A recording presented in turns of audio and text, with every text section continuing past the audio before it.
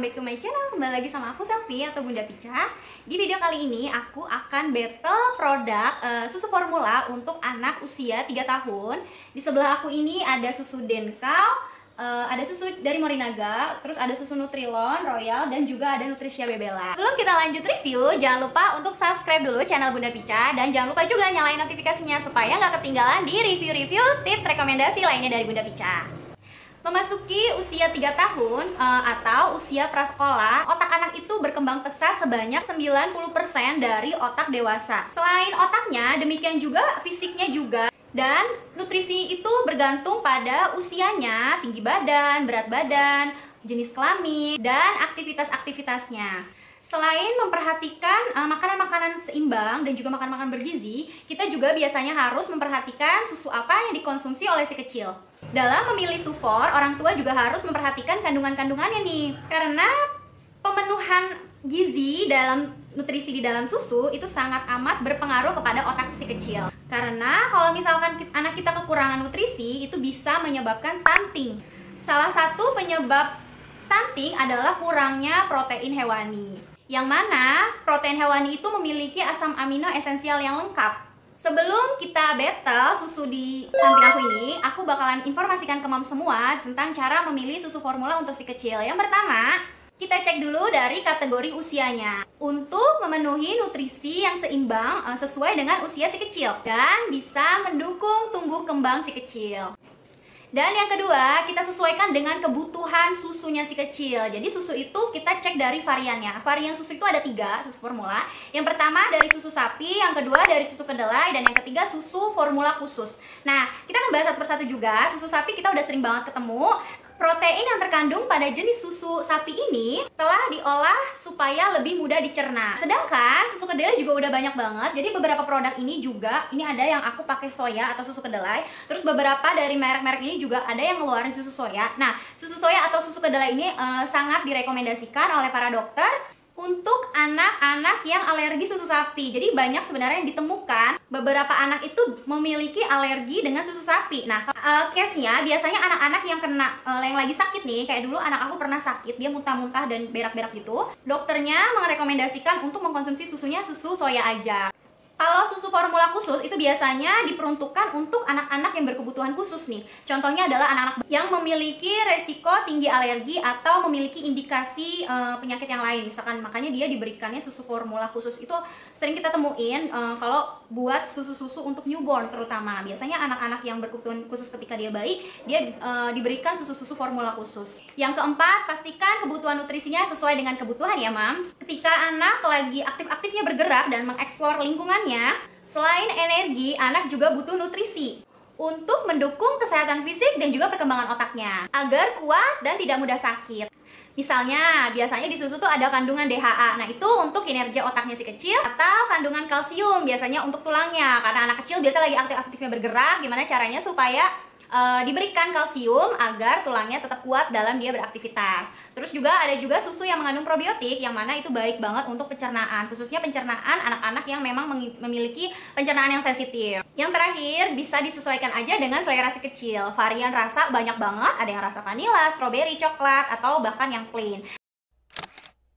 Oke, yang pertama aku akan review dulu dari Nestle dan Cow Kinder 3 Plus. Ini ukurannya 400 gram, harganya 45.000. Untuk klaimnya dia mengandung banyak laktosa dari susu formula lain, dilengkapi kandungan zinc, zat besi, minyak ikan, omega 3, omega 6, vitamin A, vitamin C, serat pangan untuk proses pertumbuhan dan perkembangan serta kesehatan anak. Lalu untuk klaimnya dia aman dikonsumsi setiap hari karena tidak mempunyai kandungan sukrosa di dalamnya. Dan uh, untuk harga, menurut aku dia harganya paling murah di antara keempat susu formula yang aku review ini. Lalu reviewnya untuk rasa cukup enak. Uh, anak aku itu lebih suka susu formula daripada susu UHT uh, eh, terutama yang si Denko ini. Kalau misalkan disuruh pilih kalau aku punya biasanya aku nyetok juga kan susu UHT yang kotak kayak Ultra Mimi atau Greenfield dan sebagainya.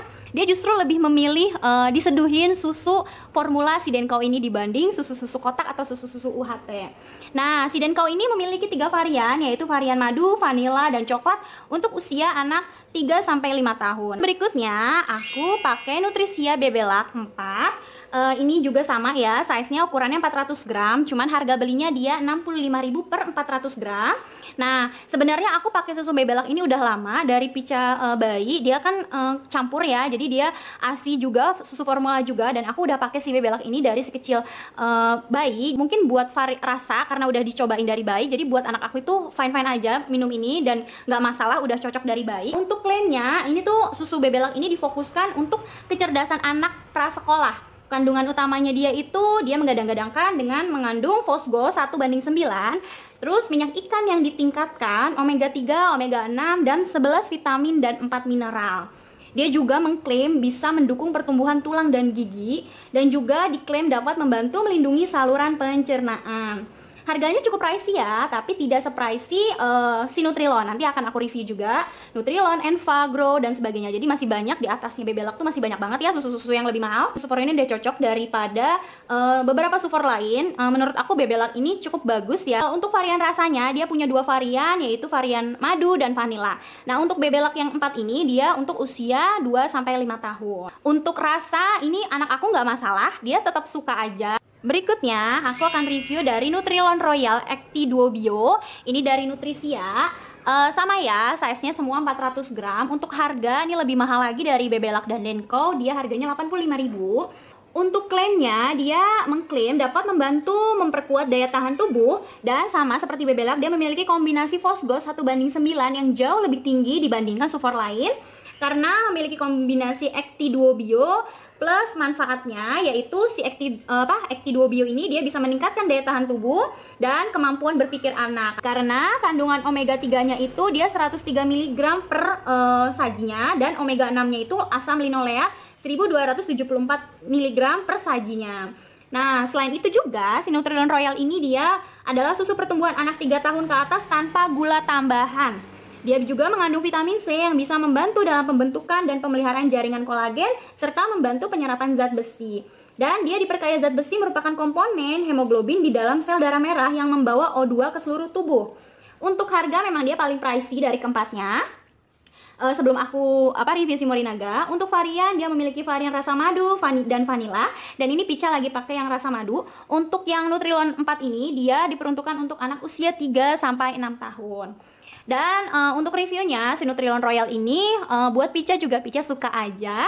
Dia nggak masalah sama susu-susu sapi apa pun sebenarnya. Dan yang terakhir ini aku cobain dari Morinaga Chill School tapi untuk variasi soyanya. Jadi ini bukan susu sapi tapi susu kedelai. Jadi memang agak beda sedikit karena aku memutuskan untuk mencoba waktu Pica muntaber juga. Dia waktu muntah aku uh, mencobain si kecil uh, minum susu soya. Dan susu soya terbaik buat aku menurut aku ya si Morinaga ini. Makanya aku cobain dan aku battle juga sama ketiga susu sapinya.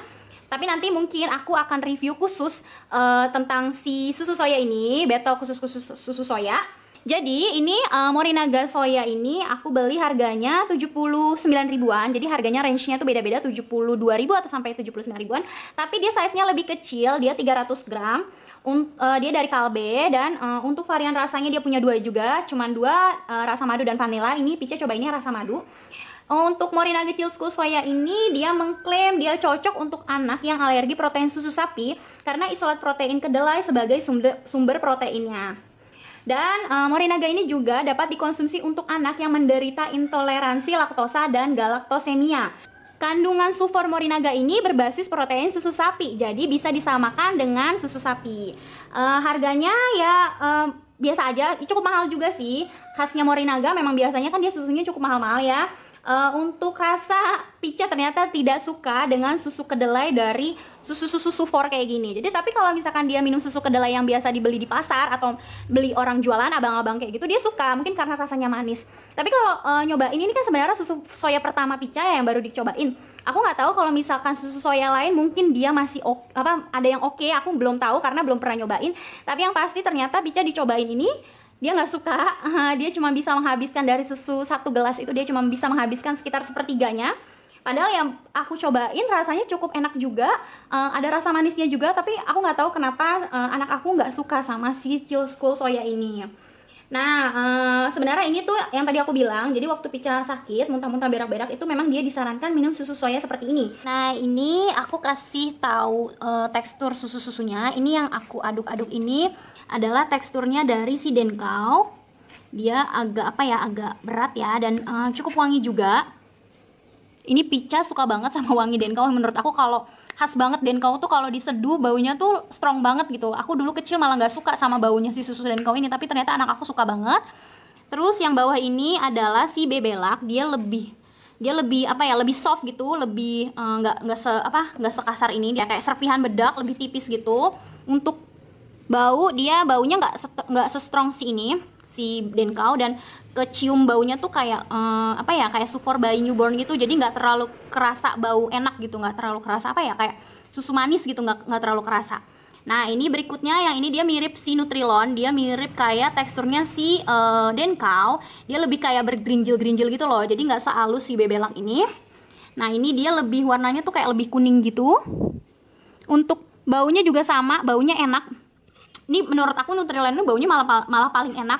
Cukup strong juga tapi kalau diseduh dia nggak se-strong wanginya nggak se-strong si denkau nah kalau ini sama nih kayak si bebelak dia lebih halus. Si siapa?